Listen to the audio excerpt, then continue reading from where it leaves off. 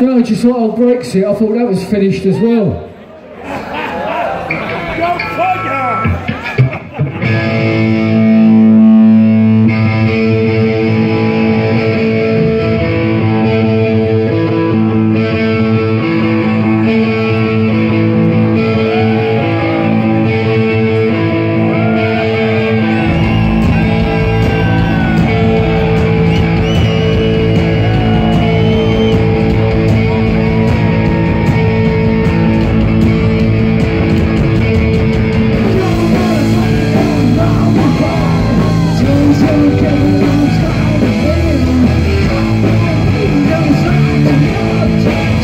Thank you.